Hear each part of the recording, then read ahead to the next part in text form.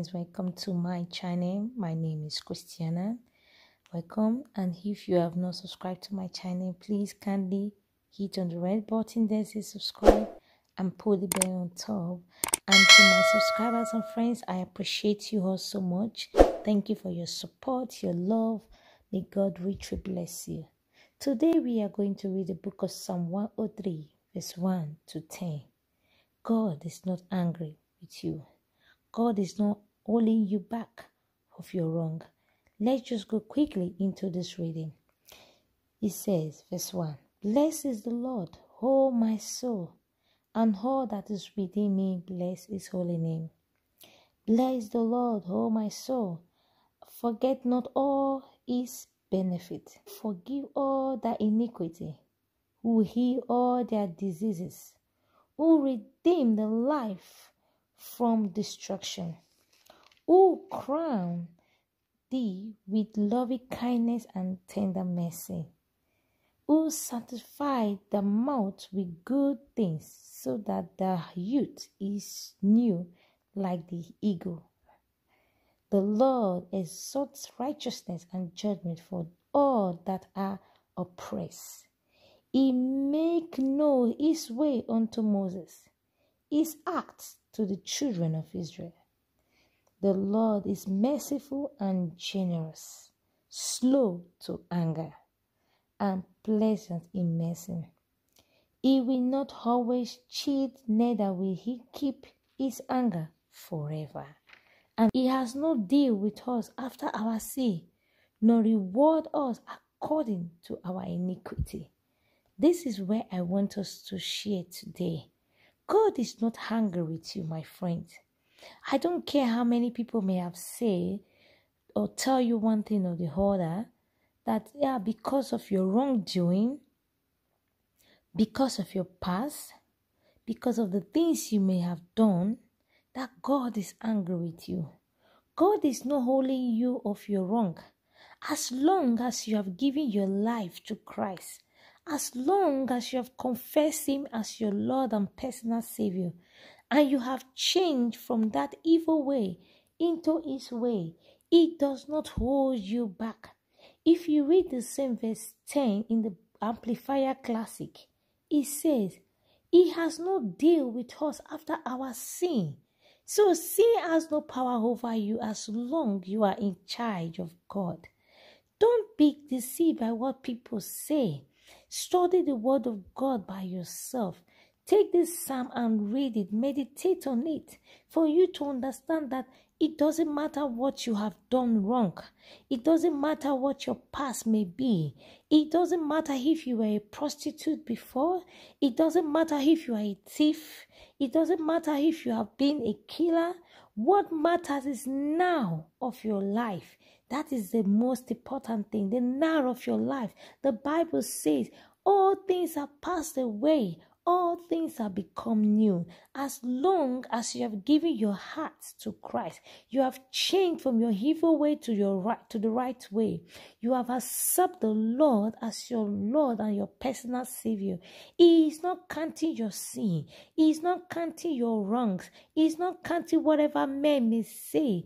Don't listen to them. This is the word of the Lord. He says it again. He has no deal with us after our sin, nor reward us according to our iniquity. He will not reward you because of what you have done wrong. He will not reward you because you are a killer. He will not reward you because you are a murderer. He will not reward you because you are a, you are you are a prostitute. No, he reward you according to who you you are now. You are a newborn baby in Christ. You have given your heart. You have accepted Christ.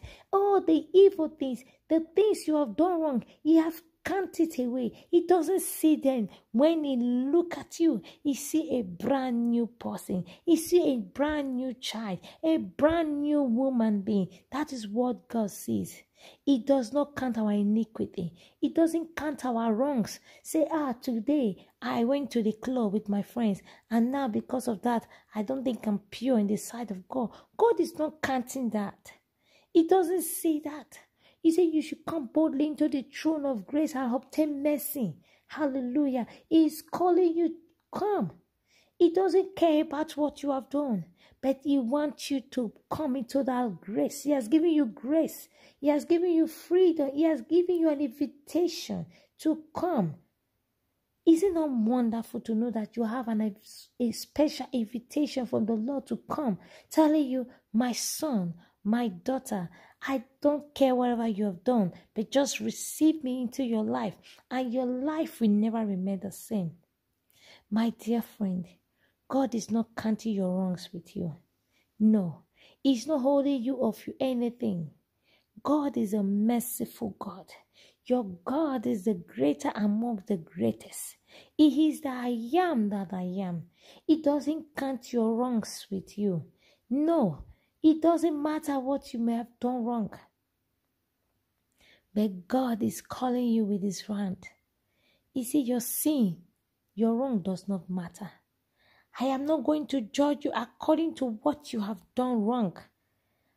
I am not going to judge you according to the sin of your parents.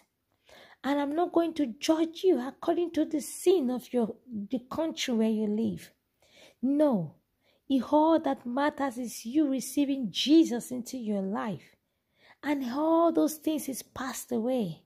Hallelujah. What what an invitation he has given you.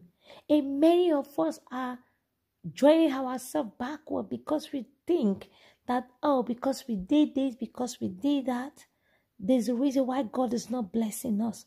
That is not the reason. It has nothing to do. God is blessing you if maybe only the thing you don't see it. You don't recognize it. You are carried away with the things around you. You are being carried away from the situation, the things you're doing wrong. You're putting those things and it's covering your eyes to see the things that God has actually done for you. My friends, God is calling you and He's telling you, I own you no guilty. I am not asking you, I'm not I'm not taking anything from you. I just want you to have me inside you. I want you to confess me to be your father. Forget your sin. It matters no more. Your sin does not matter before God. No, it doesn't matter. It doesn't count. What count before God is that you have received Him into your life. What count is that all the bad things you done, you do them no more. Now you are walking in the light. That is the light of God. You are walking in the direction that God has set before you.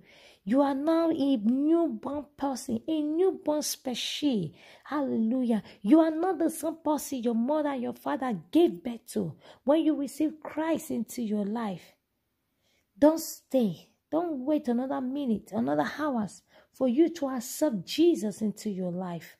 He is your Father and He loves you. He's the greatest love you can ever imagine. I'm just coming here to let you know that Jesus is not holding you guilty. He's not holding you responsible for the sin. He's calling you. Say, I'm not going to judge you.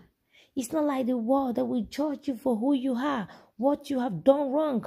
Oh, this person is not qualified to be here because he came from this country. This person is not qualified to have this job because he came from this place. He came from a poor background. But Jesus is not like that. Jesus is different. He said, forget all those things. It doesn't matter. What matters is have me inside you. Having me as your Lord and your personal Savior is what matters to Him. Jesus is calling you. Don't let your sin hold you back. Don't wait for another minute of the day for you to make the confession I'm going to put at the end of this video. Thank you so much. And as you made that confession, your life will never remain the same. Your life is going to move from glory to glory and from grace to grace. In Jesus' name.